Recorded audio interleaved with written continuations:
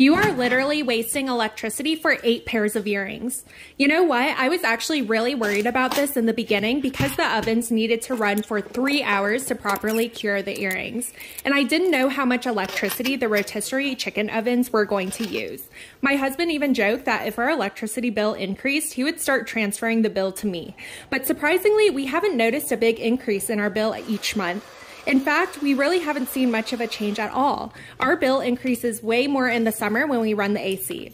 I also think that because I bought a 10 in 1 toaster oven that just happens to include the rotisserie function, it doesn't eat up as much electricity like a real large oven would.